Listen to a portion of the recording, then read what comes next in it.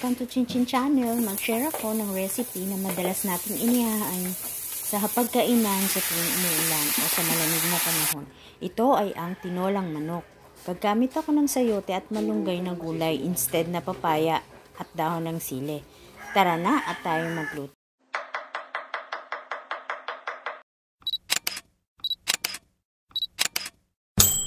Sa pagluluto ng tinolang manok, kailangan natin ang mga sumusunod na ingredients.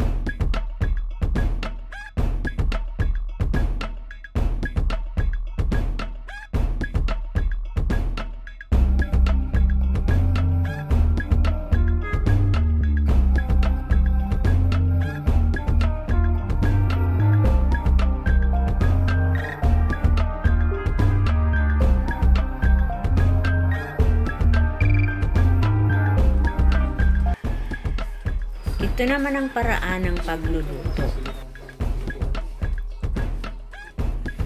Maglagay ng 2 tablespoon na cooking oil sa kasirola.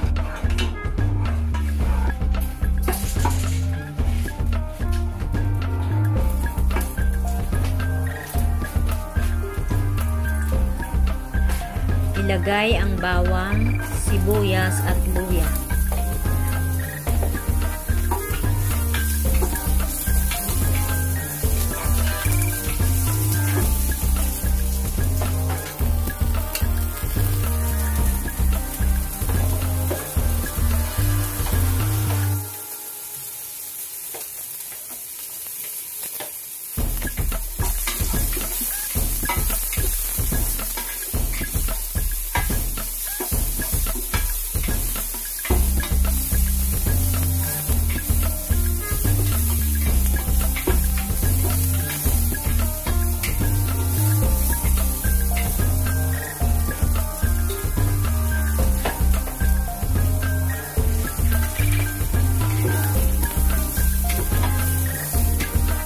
Kapag naigisa na ng maigi ang bawang sibuyas at luya, ilagay ang manok at timplahan ng asin.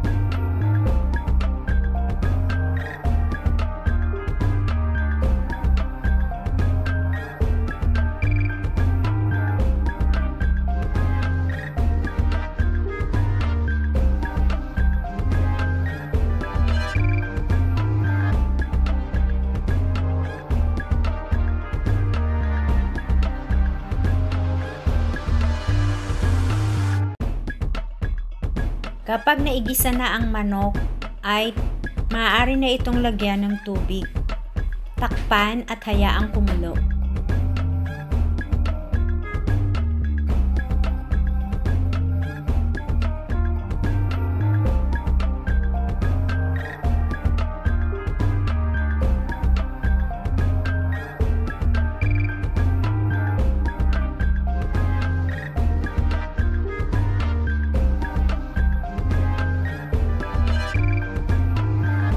Kapag ito ay kumukulo na, ay maaari na pong ilagay ang gulay na sayote at isunod ang malunggay. Timplahan ng patis ng naaayon sa inyong panlasa. Maaari nyo na rin pong lagyan ng kaunting asukal upang lumabas ang lasa at tamis ng gulay.